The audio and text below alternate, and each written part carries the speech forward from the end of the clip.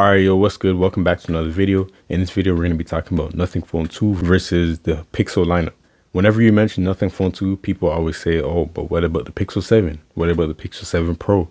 Um, what? How are the cameras doing? You know, I heard the cameras are bad because of reviews and stuff like that. So right off the bat, let me say this. Nothing Phone 2 is a really good phone and the cameras are really good. Obviously, it's not flagship level like the iPhone, the S23 Ultra, even the Pixel 7 Pro, it's not exactly at that level because of software issues and software um, fine tuning and optimization and stuff like that. But it has really good cameras. Now, when you're talking about if a phone is worth it versus another phone, you have to consider multiple things. And those things are battery life, software, power, efficiency, and even just aesthetic. And, you know, do you like the way that the phone looks and feels? So let's get into it. Nothing Phone 2 versus Pixel 7. I think Phone 2 is a better phone overall than the Pixel 7. Pixel 7 has, you know, really good cameras, really good camera processing because Google software. And it's a smooth phone, you know, 90 hertz display, and it works well. It's good for its price range, but I would choose the more powerful and more efficient processor in the Snapdragon 8 Plus Gen 1 in the Nothing Phone 2. Way better battery life, uh, I feel like a really comfortable and nice looking phone to hold in your hand. Even the software, I feel like Nothing OS is a little bit more creative. They're continuously adding more and more useful features that I would personally use. For example, quick toggle widgets on the home screen and the lock screen. Those are useful features to me. And then just the whole aesthetic, overall vibe of the Nothing Phone 2 and the software. I feel like personally, I would put those things over the Pixel 7. More power, better battery life, and better software experience in my opinion. Nothing Phone 2 versus the Pixel 7 Pro. To be honest, a very similar experience to the Pixel 7. It just has one extra camera, slightly better screen. Overall software experience is the same. So Nothing Phone 2 wins in software experience when it comes to that. Uh, cameras, obviously it's going to go to the Pixel 7 Pro. Just a flagship camera system and it's better on all levels. When you're considering these phones, you got to ask yourself, how much is the camera worth in terms of like the overall value of a smartphone? If you value the camera so much, then go for a pixel. Like that's there's no question about that. If camera is what you want, go for a pixel. Even over I would say Samsung's. Just because pixels are some of the best and easiest phones to just pull out of your pocket, take an image and that's it. The best point and shoot cameras on Android period in my opinion. But if you value other things like performance, software experience, customization, and even gaming, you know, performance, your phone performing well without heating up, um, thermals, Nothing Phone 2 is just better on all levels, um, better than the Pixel 7 Pro in my opinion. Like the only thing in my opinion that Pixel 7 Pro has over Nothing Phone 2 is the cameras, and there are some slight AI features with the Pixel 7 Pro. But personally, I don't use a lot of those features. Like I don't use call screening. That's the only AI feature I can think of off the top of my head.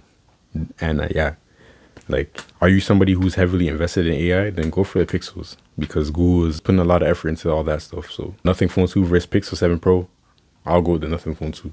So now Nothing Phone 2 versus the Pixel 8. So this one is a closer comparison than the other ones because I feel like the Pixel 8 should be more powerful, uh, should be more power efficient and last longer with the battery life and uh, obviously the cameras are getting better. The base model Pixel 8 now has a 120 hertz screen, which is comparable to the phone 2, except that phone 2 has the LTPO displays. It can go down to 1 hertz to save battery life, depending on what you're doing on the phone. It still comes down to like, what do you want out of your device? I still believe that the phone 2 will be more powerful um, in terms of gaming. We don't know about the thermals yet, the heat performance.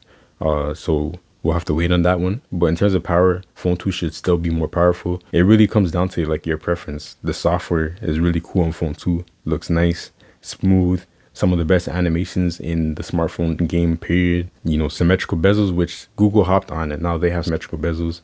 But obviously they are two different looking phones. Um, you know, two different styles and aesthetics. So it comes down to what you prefer.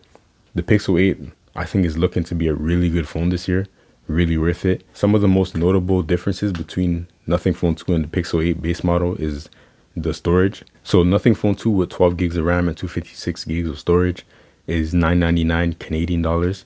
The Pixel 8 is 949 Canadian dollars for 128 gigs of storage. Um, if you value more storage, you literally get double the storage for like $50 more with the Nothing Phone 2. But then you can pay $30 more than Nothing Phone 2 and get 256 gigs of storage for the Pixel 8. So it's pretty close to be honest. Yeah, we really have to see how these pixels perform. Overall, I like the aesthetic of the Nothing Phone 2, but I feel like it's also, like I said, it's a bit hard to recommend over the Pixel 8 because of, you know, the improvements that Google should make to the Pixel 8. Another notable thing is the size difference. So the base model Pixel 8 is a little bit smaller, whereas the Nothing Phone 2 is like it's as big as the pluses, the maxes, the ultras, and the pros out there. So if you want a smaller screen, then go for the Pixel 8. Now we have the Pixel 8 Pro versus Nothing Phone 2. And to be honest, I love Nothing. I love Nothing brand. I love Nothing Phone 1, Nothing Phone 2.